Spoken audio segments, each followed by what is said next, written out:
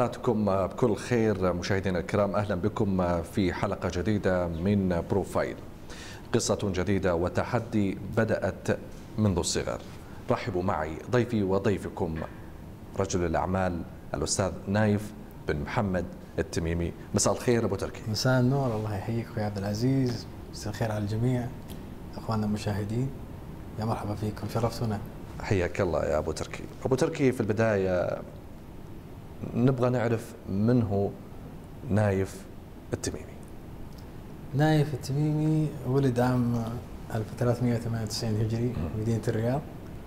آه، طلع طفولته في مدينة الرياض مراحل ابتدائية كدراسة متوسطة والثانوي. انهينا مراحل الدراسية بجامعة الملك سعود. آه، وبعدها دخلنا معترك الحياة بعد الجامعة. تزوجت الحمد لله.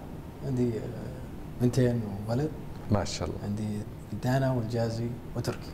تزوجت وأنت في الجامعة؟ تزوجت بعد الجامعة مباشرة الجامعة. بعد الجامعة مباشرة طيب.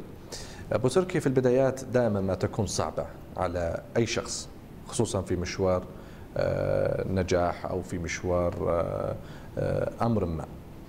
لكن كيف كان التحدي الصعب اللي واجهه نايف التميمي مع بدايات آه، حياته ومشاريع التي فشل في آه، بداياتها. آه، قبل ما ال- نقطة التحدي آه، ونقاط التحدي الكثير اللي واجهتها دائما الأحلام هي اللي تسوق الواحد أحلام اليقظة. وجهة نظري. تسوق الواحد دائما إلى الحقيقة. دائما يتعود الواحد إنه يحلم يغذي عنده شيء اسمه التفاؤل والطموح والأمل في تحقيق أهدافه. وتحديدها والرؤية لها تكون أوضح. فالتحديات عندنا بدأت آه، آه، منذ تخرج من الثانوي. آه، وكان هذا التحدي وليد صدفة أو كان زي الانتقام البسيط لل- للشباب السعودي كله تقريبا. لأنه كنت في زيارة ل- بجدتي الله يغفر لها ويرحمها. آمين الله يسلمك. لأحد مراكز الأسنان للعلاج. وكان في موظف سعودي في الريسبشن. آه، عجبني صراحة هذا الشاب وأخذت معه شوي حوار وكنت آه، أحاول أستفيد منه لأني ودي إني أعمل زيه. وسألته كنت أتوقع إنه في كلية الأسنان أو ما شابه فطلع في أحد الكليات تقريبا آه، الأخرى اللي أعتقد اللغات أو شيء من القبيل ولا له علاقة في التخصص اللي هو يعمل فيه. كان يحاول يقضي وقت فراغه. في زيارة أخرى بعدها بفتره بسيطة ما تجاوز أسبوعين ثلاثة بجده الله يرحمها نفس المركز. ما وجدت الشاب هذا. طبعا الشاب كان يعمل مع شخص أجنبي. طيب. آه، فسألت عنه قالوا إنه ترك العمل. ليش ترك العمل؟ فقال كل السعوديين كذا مو بحقين شغل. هنا بدأت صراحة الشرارة عندي تشتغل إنه ليش يقول عنه هذا كذا؟ مم. فسألت هل الوظيفه فعلا متاحة؟ قال لي نعم متاحة.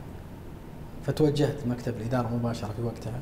في نفس المركز هذا. في نفس المركز. أيوة. طلبت من صاحب المركز كان موجود. طلبت منه آه، إني أعمل في الوظيفة هذه. فطلب مني أجي بكرة. جيت اليوم الثاني آه، أيضا طلب مني تأجيل يوم آخر. آه، ففهمت إنه يحاول يتأكد من رغبتي في العمل ام لا من كثرة السعوديين اللي يجون ويمشون. كان السبب بسبب الأجنبي ما هو بسبب إن السعودي ما يشتغل. فاصريت أنا إني أعمل في هالمكان. أعطوني راتب جدا قليل قبلت كان ألف ريال. كان دوامين. حتى يوم الخميس كان وقت إجازتنا خميس وجمعة. كان في قصة مع يعني موظف في في الإدارة داخل هذا المركز وهو كان آه، يعني من أقدمت أنت عليه هو آه، حط أمامك آه، معوقات وصعوبات في أن آه، تحل محل الموظف السابق اللي خرج من المركز. تحدثنا عن القصة هذه اللي ذكرتها. مع بداية عملي أبلغني صاحب المركز وقتها. انه إنه ما حيعلمك الموظف القديم ما حيعلمك شيء مهم. الأجنبي اللي موجود ما حيعلمك. آه، فيا إنك تأخذها بذراعك أو إنك بتمشي مثل اللي قبل. طيب. فكان هذا التحدي معه.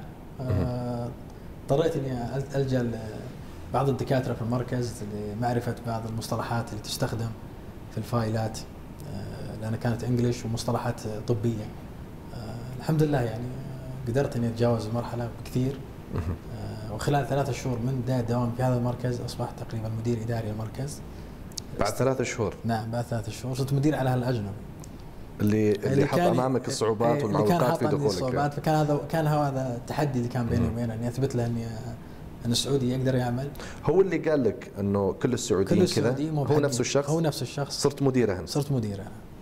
بعدها بثلاثة شهور بالضبط أو 90 يوم تقريبا. وكنت مسؤول عن المركز تقريبا بشكل كامل حتى العمر كان 18 سنة وكان آه، مسؤولية الممرضات وهم نساء طبعا. في سني أنا آه، إنه يسلم هذه المهمة إن يكون عندي مفتاح السكن الخاص بالممرضات الالتزام بالتوقيت لأنه عدم التاخير أصبحت المسؤولية عليك مسؤولية أكبر, أكبر أعطتني وأنا كنت طالب في الجامعة نعم. وقتها. كنت أداوم الصباح في المركز أروح الظهر للجامعة أرجع المساء المركز إلى الساعة 9 بالليل.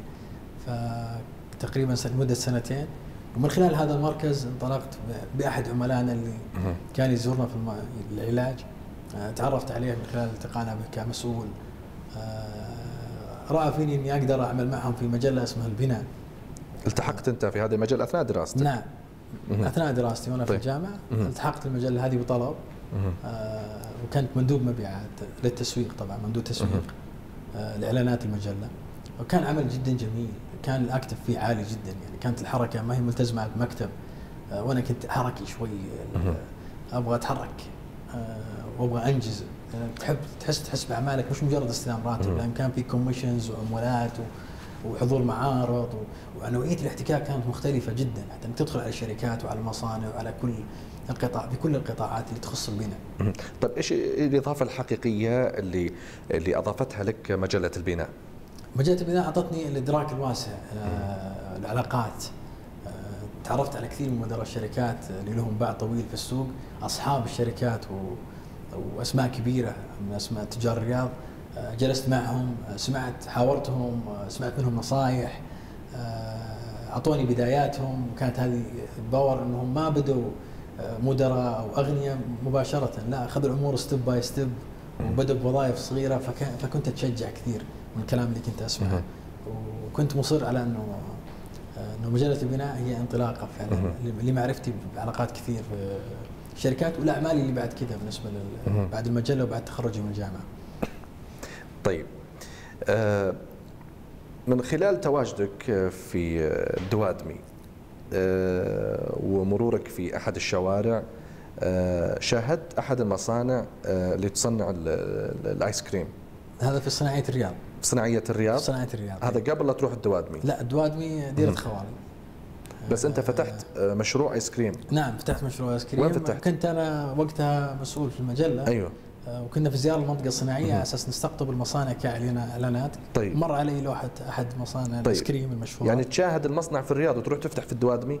آه أنا ما شاهدت ما كان هدفي أيوة. أفتح أول شيء. كان الفضول ساقني إني أدخل للمصنع آه عشان أشوف الصناعة هذه كيف تتم. طيب. وقابلت مدير المصنع وتعرفت عليه وهو اللي قال لي إحنا عندنا شيء اسمه الفرانشايز اللي هو الامتياز اللي ممكن نفتح لك فرع حتى لو تبي في الرياض. أنا اخترت الدوادمي آه لأن خوالي هناك هذا رقم واحد. اثنين اخترتها لأنها مدينة ما فيها آه أي محل ايس كريم آه متخصص بالايس كريم كان فيها نوع من المجازفة لكن درسنا السوق ودرسنا ال cost أو التكلفة اللي كان وقتها. أه. دخلت معي خوالي شركاء في هذاك المحل. أه وأنا طالب طبعا في الجامعة. أه ونجح نجاح صراحة ما كنا متوقعينه. أه لأنه كانوا يتوقعون إنه سعر 5 ريال للايس كريم وقتها إنه بالنسبة للمنطقة زي الدواد إنه مكلف أه للبعض. لكن تفاجأنا إنه انه اختيارنا للموقع كان سليم 100% لأنه كنا قريبين من السوق. فيه فيه عندنا اللي هم العملاء كثير في ناس طيب. في دائره عملاء كثير فكان قربنا من السوق اختيارنا الموقع آه، هو السبب في نجاح المشروع في وقتها.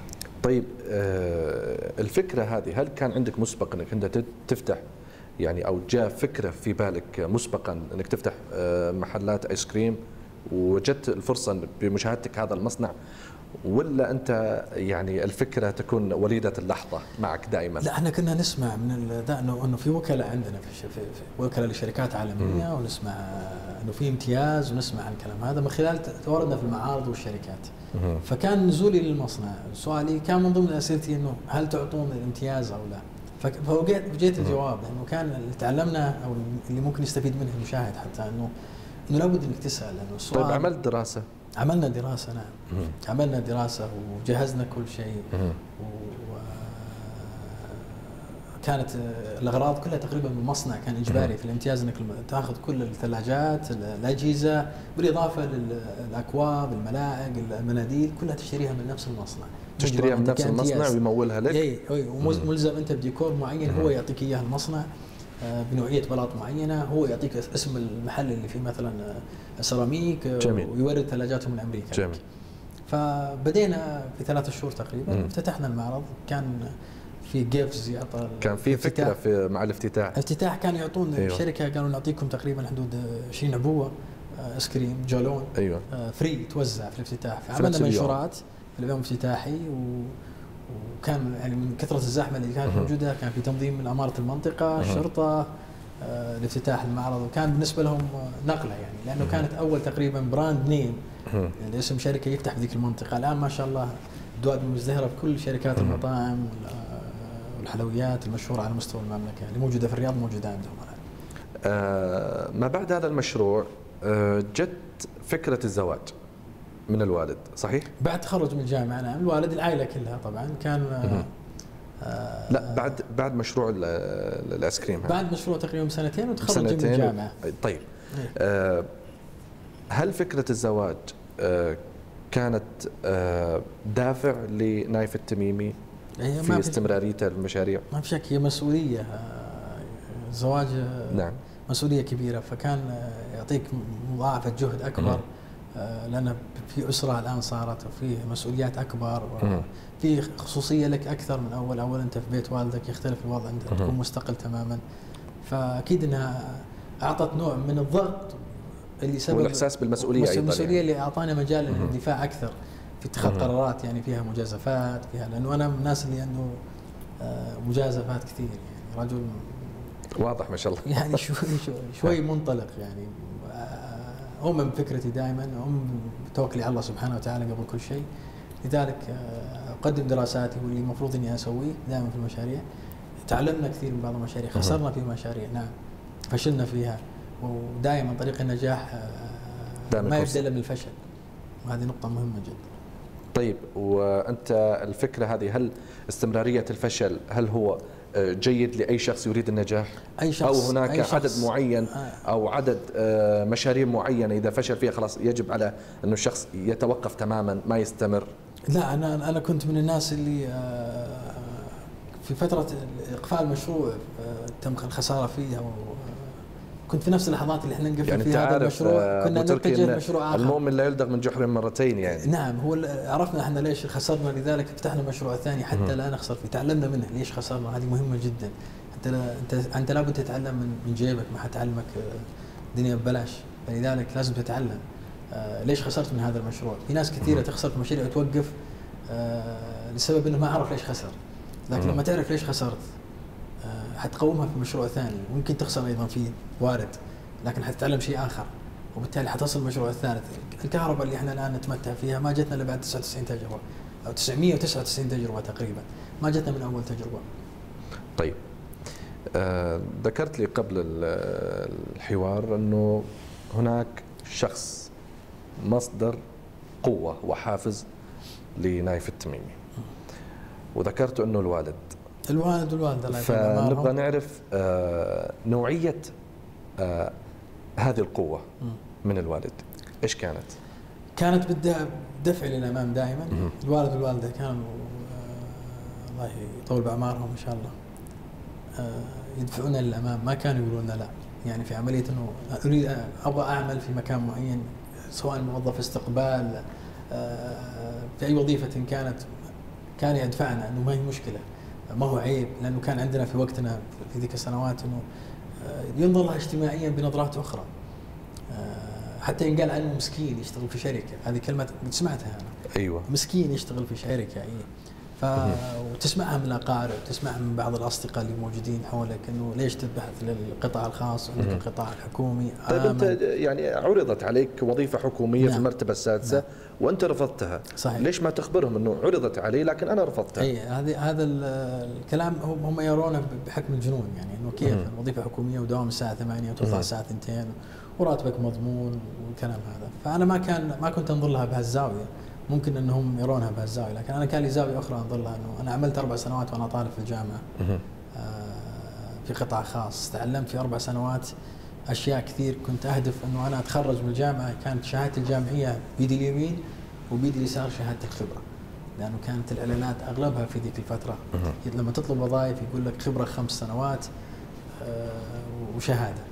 فكانت الشهادتين موجودة معي اللي هي الخبرة والشهادة الجامعية. آه، وبدأت انطلاقاتنا. من خلال وظيفة حكومية عرضت علينا في وزارة البترول على المرتبه السادسه بعد تخرجنا من الجامعة لأن طبقنا في الوزارة نفسها. ورفضتها؟ آه رفضتها لأن عندي إيمان إنه القطاع الخاص آه أسرع آه في عملية نموي أنا وأفضل لي كطموح. آه أنا كنت أرى إنسان طموح جدا وكنت أبغى أصل. أبو تركي أنت آه، تركت آه، راتب 6 إلى 7000 بضمان حكومي وتوجهت للقطاع الخاص براتب لا يتجاوز 3000 ريال. آه، هذه المعادلة نبغى نفهمها يا أبو تركي. هي هي لأني عملت أربع سنوات. قبل. أنا طالب في الجامعة في القطاع الخاص ففهمت القطاع الخاص كيف يدار. نظام الراتب بالنسبة لمندوب مبيعات يعتمد على الراتب وعلى commission ال commission هذا يطلع مبالغ تتجاوز بعض الأحيان ال 10000 ال 15000 ال 20 واستفادوا منها الأجانب بشكل كبير في البلد في فترات طويلة ولا زال بعض الشركات معتمدين على المندوبي أجانب. وهذه فرصة للشباب السعودي يسمع مني الآن إنه كلمة مندوب تعني الاكسبيرينس تعني العمولة الجيدة تعني العلاقات. يعني خبرة وفلوس وعلاقات. لأنه أنت ما حتحصل على كثير وأنت ما عندك شيء. فكان مطلوب مننا إحنا يكون عندنا آه، خبرة نقدر نساوم فيها الآخرين. نقدر نقوم عند الناس يدفعون لنا راتب مقابل هالخبره اللي نملكها. طيب عملت في الخزف والسيراميك نعم عملت شركه الخزف السعودي مندوب مبيعات كبداية. آه وأنا متخرج. ما شاء وكان بشريطة إنه أكون supervisor خلال فترة معينة. طولت شوي صحيح. بس حصلت عليها مشرف مبيعات قسم الجملة في الرياض. ما شاء بعدها انتقلت إلى مساعد مدير المنطقة في الرياض. بس آه. قبل أن تصبح supervisor ولا أن تحصل على درجات أو آه، مراتب عليا في الشركة هذه حصل معك موقف لا زال في الذاكرة. آه، يا ريت تخبرنا عنه. اللي تقصد حق القوعيه؟ إي نعم. إي أنا أنا طبعا كنت أطلع في جولات تجاه القوعيه في في الدوادمي كمندوب وقتها. فكنا نشيل السيراميك كعينات ننزلها للتجار ونشيلها. آه، فكان لازم يكون لنا رصه معينة داخل السيارة ما نقدر نخلي العمال يسوونها. لازم إحنا نسويها بنفسنا حتى ما تتكسر. آه، يعني شلت سر... إيه وحنا نشيل وحنا نشيل طبعا تتكلم عن مقاسات مختلفة 40 و50 و20 أنت اللي تشيل. إي نعم. آه وكنت بزي سعودي طبعا ثوب وشماغ واشيل السيراميك. تفاجأت آه أحد الأخوان الأجانب موقف سيارته ونازل. آه طبعا سيارتي سيارة الشركة وعليها الشعار. طيب. فسلم علي الأخ سعودي. قلت له نعم أنا سعودي. قال لي أنا بس حبيت أهنيك لأنه أنا لي 15 سنة في البلد هذه. أول مرة أشوف سعودي يشيل بنفسه وينزل. آه لذلك وقفت سيارتي نزلت إني أقول لك برافو عليك. وقف سيارته عشان اي وقف سيارته عشان يقول لي برافو عليك إنك سعودي وجالس تشتغل يعني. كيف كان شعورك؟ ما تتخيل أنا طالع طبعا مسافر يعني. أيوه أيوه. إيه الموضوع كان اي جدا. يعني تأخذ انطباعات بدون ما تطلبها. آه، وما له ما له أي شيء عند الرجل ولا والعكس صحيح. فبالتالي تأخذ انطباع طيب. من الشارع أنت. جميل. طيب أه تركت الشركة هذه وعملت في شركة إماراتية صحيح؟ ما تركتها أنا جاني عرض جاك عرض جاني من عرض الشركة الإماراتية. شركة إماراتية. طيب جميل. آه في نهاية 2006 بداية 2007 وسافرت الإمارات العمل انتقلت العمل في الإمارات في السعودية. أنا مدير مبيعات المملكة لهذه الشركة كنت أعمل 10 أيام تقريبا في الإمارات و20 يوم في السعودية. آه كانت توسع الموضوع. أصبحت المملكه كلها تحت إدارتك. كشركات وكقطاع خاص بدينا ندخل في المشاريع الكبرى مثل مدينة الملك عبد الله المالية آه، مدينة راب لأنه بدينا نتوسع لنطاق أعلى. طيب. آه، أعطتنا أيضا آه، زخم جيد من العلاقات والخبرة والاكسبيرينس في تأسيس شركة جديدة في الإمارات. طيب الأزمة العالمية وأنت أثناء وجودك في شركة آه، المتواجدة آه، في الإمارات وكنت تتنقل ما بين الرياض ودبي. دبي وأبو ظبي. وأبو ظبي. آه، بعد حدوث الأزمة العالمية آه، كان هناك في تسريح لكثير من الموظفين نعم صحيح آه، كيف كان تفكيرك وقتها؟ كان زملائنا سرحوا وقتها وكنت أنتظر الدور صراحة كنت أتوقع انه يوم من الأيام حيجيني الدور لأنه الأزمة كانت قوية جدا بالفصل آه، إي نعم نهائي. بالتسريح يسمى طيب. تسريح العمل طيب آه، لإنهاء الخدمات. آه، فكان تفكيري كله يصب على أنه لابد اني ابحث عن.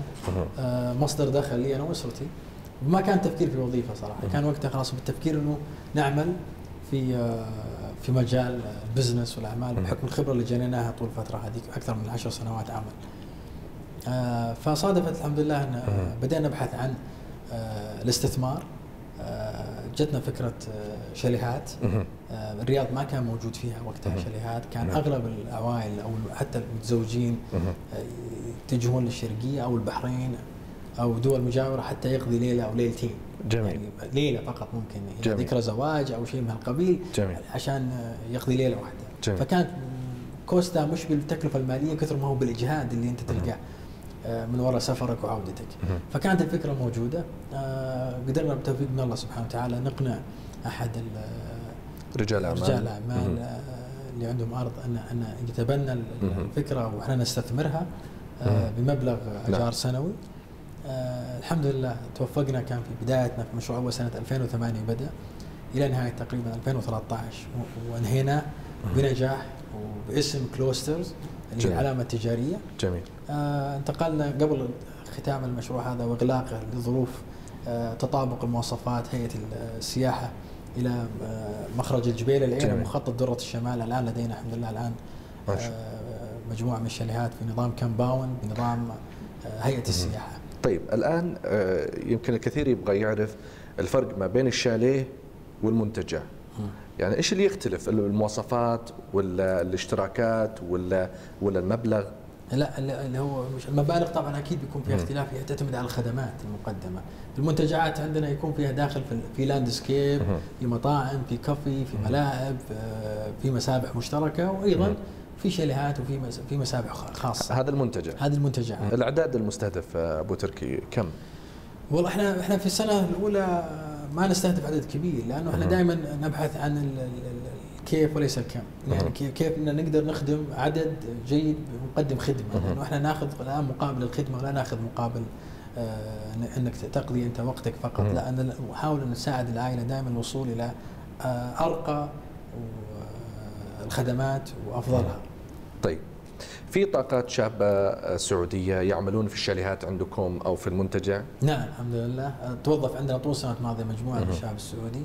آه، طبعا بعضهم آه، آه، ترك العمل استمر فترة سنة وسنتين استفاد منه. بعضهم أصبح ما شاء الله عنده في مجالنا أيضا أخذ نفس طريقتنا وفتح الآن مشاريع أخرى مشابهة الله يرزقنا وإياهم. بالعكس استفادوا من الخبره حلو. أتمنى لهم التوفيق. وعندنا إن شاء الله في مشروعنا هذا باب إن شاء الله من خلال برنامجكم لأنه إن شاء الله حنعلن قريبا فتح باب لتوظيف سعوديين وسعوديات في حاجة لهم إن شاء الله بإذن الله تعالى. في آه، مواصفات معينة للشباب يعني. لابد أن يحملون شهادات معينة إحنا شروط معينة إحنا عندكم؟ أنا أقول لك إياها من واقع الخبرة أيوة. أنا ما أنظر للشهادة كثر ما أنظر آه، لطموح وروح ال- الموظف دائما الموظف اللي آه، يبحث عن طموح معين ما يسأل عن الراتب أو متى ساعة كم الدوام ومتى ينتهي الدوام. أو هي فترتين أو فترة واحدة دائما الموظف الطموح هو اللي يسأل عن الأشياء اللي تخص السلم الوظيفي. طيب أنا لو توظفت في الاستقبال وين بصير بعد سنة ولا سنتين هذا اللي يهم دائما الإنسان. النظرة البعيد إحنا مشكلتنا ننظر دائما يعني لو جاك واحد مع شهادة والآخر مثلا مع ثانوية عامة أي لكن وجدت في الشخص اللي مع ثانوية عامة عنده همة في العمل أكثر من اللي ممكن معه شهادة ما ناخذ آه، جامعية نعم. إيش إيش ممكن تستفيد منه؟ ال- ال- الطموح دائما. يعطي مجال للتعلم شخص متع... يبغى يتعلم الجامعيين ما إذا ما وفر عنده صفة الطموح. شهادته ما تفيدي لأنه إحنا تخرجنا من الجامعة أنا تخرجت من الجامعة ما أعطتنا أي شيء في سوق العمل الجامعة. الجامعة هي شهادة أكيد- أكاديمية أعتز فيها وأفتخر فيها من جامعه الملك سعود لكنها عندي على مبلوزه وحاطها عندي على الجدار ومعتز بالفترة اللي أنا قضيتها في الجامعة واستفدت يعني منها. أنت تقول أن الخبرة أساس العمل يعني إحنا نتمنى الآن من السلك التعليمي عندنا. إنه يتجه إلى محاولة إدخال طلابنا في مهم. آه، التعليم التدريب يعني بمعنى أنا أنا أنبسط الآن في مدارس أهلية الآن آه، يدرسون فيها مثلا أولادي إنه يوم عندهم اسمه يوم آه، سوق الطفل اللي تخلي الطفلة تا- تأخذ بضاعة معينة وتجي تستعرض وتبيع. وتحاول تكسب وتتعلم هذا الشيء اللي نحتاجه إحنا في مدارسنا في جامعاتنا لأنه إحنا نعلمهم كيف يبيعوا ويشترون، نعلمهم الأساسيات العمل من خلال السوق، إحنا جاهزين إنه نستقبل طلاب وطالبات ونعلم آه، ونعطي آه، مجال لهم معنا هنا يستفيدون من عندنا من خبرتنا في مجالنا مثلا أو شيء من القبيل، مستعدين لأي جهة. آه، برأيك إن ال- السوق الآن السوق السعودي الآن يفتقر لمثل هذه الشاليهات أو المنتجعات؟ لا كسوق سعودي لا نتكلم مم. فيه مشاليهات ومنتجعات جيدة. في الشرقية في في جدة.